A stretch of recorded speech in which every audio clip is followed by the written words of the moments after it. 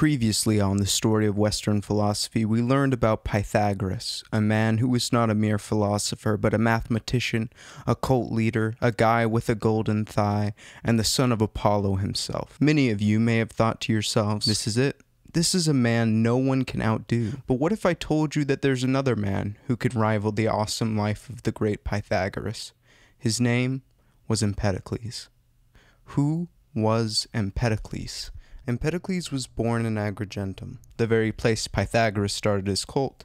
Fittingly, he joined the cult of Pythagoras, and for a brief moment, everything was right in the world. There was a man of infinite wisdom from whom he could learn, but Empedocles fell prey to a temptation strictly banned by Pythagoras. No, not beans, poetry. Empedocles was convicted of plagiarizing Pythagoras' discourses in his writings and was banished from the cult. This left Empedocles heartbroken. He lost his precious mentor, leaving a void in his heart. But Empedocles carried on, filling that void with none other than Parmenides. Parmenides became his teacher. It is also said that he was mentored by Anaxagoras. After learning all that he could from not one, but three of the greatest minds ancient Greece had to offer, he went out into the world to make a name for himself. He quickly discovered some poor Greeks who were complaining about the harsh wind destroying their crops. This was Empedocles' chance to prove himself.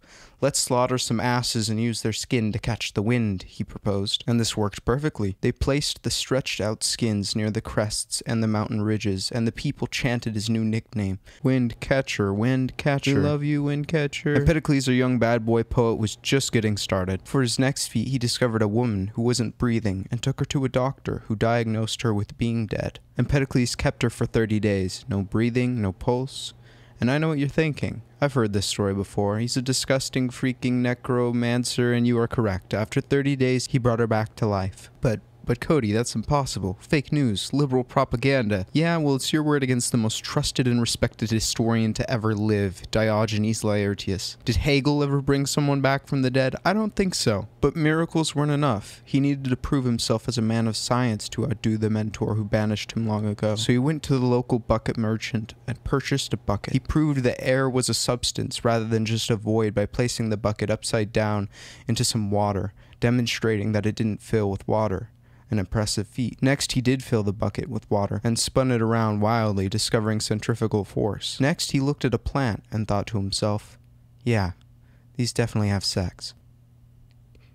He knew that the moon shines by reflected light and that light takes time to travel. And for his final act, he came up with evolution. Hey, but what about Charles Darwin? Shh. Look closely at the screen and you will see a fool. Now, previously we talked about how people claim that Anaximander discovered evolution with his claim that people came from fish, which was clearly bogus.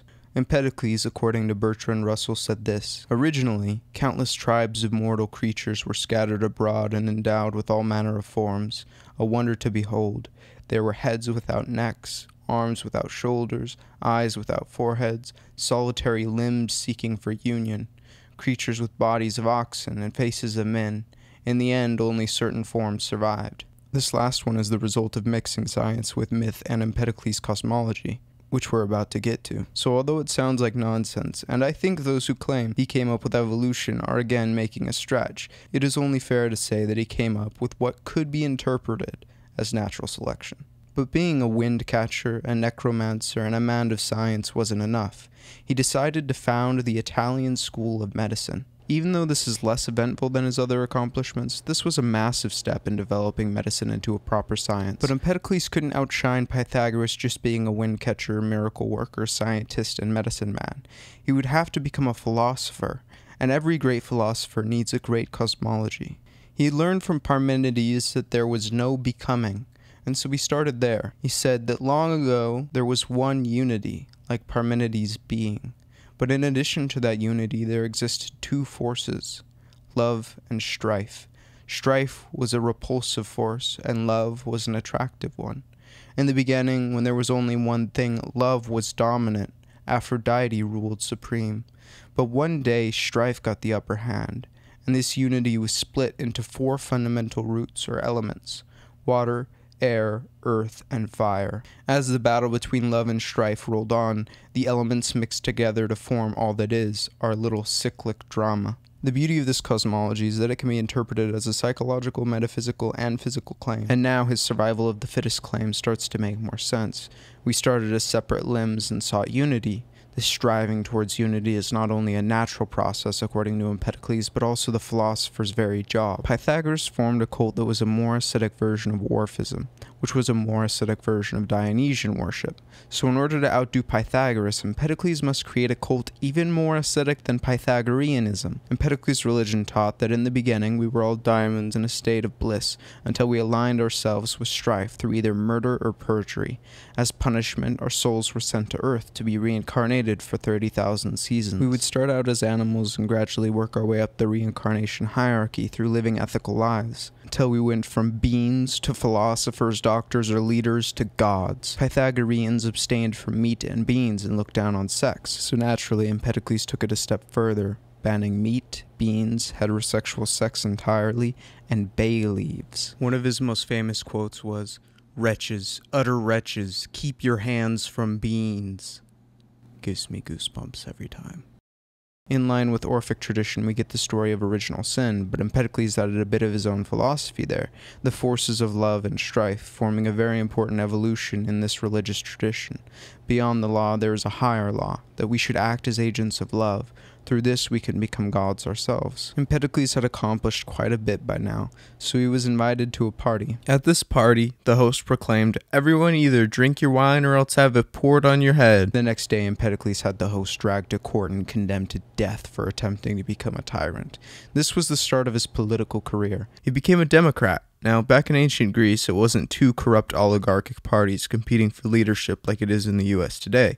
No, it was a fight between the rule of the people and oligarchy or tyranny. And one side didn't just whine when they lost, no, they were executed, or if they were lucky, exiled. So Empedocles being a democratic politician was no small thing.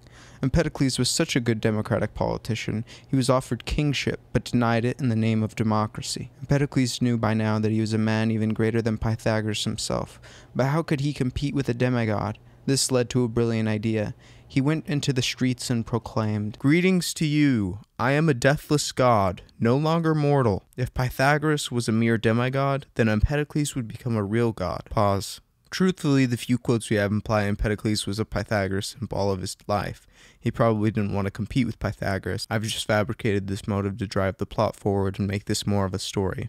Most of you could probably pick up on that, but I don't want to lead anyone astray, so I'll make it explicit. Deep down, he could have harbored jealousy and resentment for being kicked out of his cult, but I have no real reason for believing that. Back to the story. This can initially be confusing, but as you consider Empedocles' hierarchy of reincarnation, it begins to make more sense. At the top, there are philosophers, doctors, and leaders. Empedocles was all three. The only thing higher was becoming a god. Another story tells about a time when pestilence attacked the people of Selinus because of the foul smell of the river nearby. People were dying and women were having miscarriages until Windcatcher came to the rescue again. He combined two rivers at his own expense, making the water sweet. The people began praising him as a god. This was everything Empedocles wanted.